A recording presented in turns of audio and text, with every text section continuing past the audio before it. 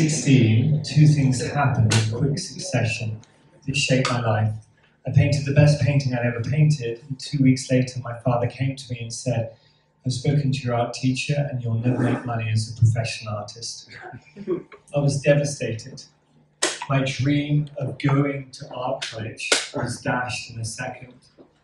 And instead of rebelling and standing on a table and shouting, Oh, Captain, my Captain, or tearing up a textbook, or putting a gun to my head, I did something even worse. I suppressed my creativity, my essence, my soul.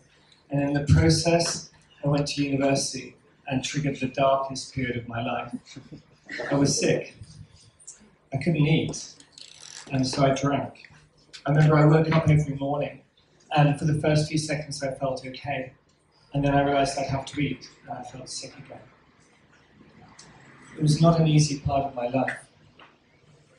But what I realized is that Sir Ken Robinson, who uh, gave the most popular uh, TED talk ever, schools killed creativity, is not entirely correct. You can't kill creativity.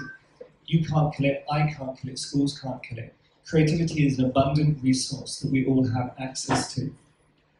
You can turn your back on it, you can suppress it, you can walk away from it, but it's still there and it manifests through the projects we do, in the business we work in, in art, or it will manifest in diseases. Every wisdom culture in the world talks about a duality that exists in us, whether you call it the unconscious and the conscious mind, the masculine and the feminine, the head and the heart, the intellect and the intuition, yin and yang, doesn't really matter. What matters is whether you can connect to your essence, whether you can connect to your soul, whether you can enable yourself to connect to that, get out of your head, and remove the things in your personal unconscious so you connect to the collective unconscious, what Carl Jung called the collective unconscious. And then creativity flows through I started to paint again after 14 years on the Salève, not far from here.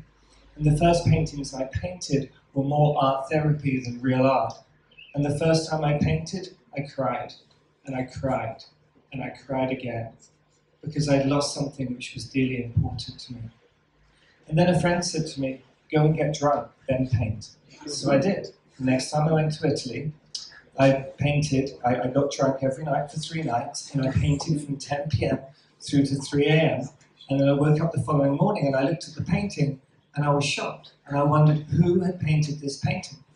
And this was the first painting I ever sold. So I thought, that's not bad, I'll do it again. So I got drunk and I painted a second painting. And I sold that as well. And then I realized I had a problem. because I was originally uh, drinking to escape painting, and now I was drinking to enable painting. So I spent the next 10 years exploring how you can get into a state of creative flow without getting drunk or using drugs. So I explored yoga, I explored Ayurveda, I explored Tantra, I explored meditation retreats, I explored um, metaphysical retreats, I explored breathing. And every time I did that, I unlocked something in myself. And as I unlocked something in myself, I became more adventurous. I started to paint outside. Initially, what I painted was sunflowers and poppy fields and barley fields. And then I started to paint lakes and the oceans. And what I discovered is everything in nature is waves. And as I painted more and more, I became more adventurous. I started to paint in gale force winds. I started to paint in tropical storms. I even painted in a blizzard. And what I observed when I painted in a blizzard is that my mindset was in correlation to the environment. There was a, a liaison between the two. And as I began to discover this, what I realized was that the wind was shaping the brushstroke, that the paint was merging with the snow. And one time I painted uh, near Mont Blanc, and the, the clouds covered the mountains. And the, the, the wind said to me, I'm more powerful than the clouds, I'm more powerful than the mountain, because I can remove and blow away the wind and reveal the mountain to you. And that's exactly what it did over those five hours.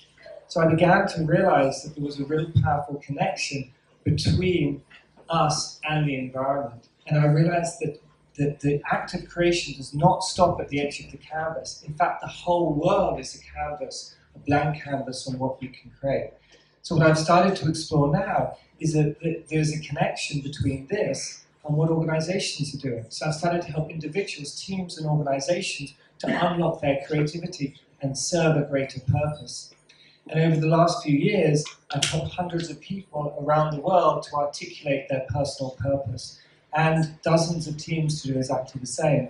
This is me last week in Esalen on the west coast of the States recording a, a, a, series of videos which will turn into an application so that thousands of people can now have access and work out what their personal purpose is. More recently, uh, and then a friend asked me, uh, why don't you write a book? So I did. In fact, you could say I wrote the book five times because my editor kept on saying you need to rewrite it and rewrite it until it flows like a painting. The book's about purpose. How can leaders, teams, and organizations put purpose at the heart of everything they do? Most recently, I've started to explore collaborative paintings. This is one which we did last week at Esalen on the west coast of the States, but we've done in Silicon Valley, New York a couple of times, Zurich, Warsaw, Geneva, up in the mountains, and they're extraordinary experiences. And, and I've also started to look at how can I help individuals to do the same. This was me a couple of weeks ago. A friend asked me if I'd help him to paint. And I did this with, um, some of you may know the guy Gib Bulloch, and I help, was helping him to paint. And now what we're exploring is how can we do large-scale collaborative paintings with organizations like UNEC, uh, the United Smart uh, um, Cities, um, Esalen, and Ashoka. Thank you very much.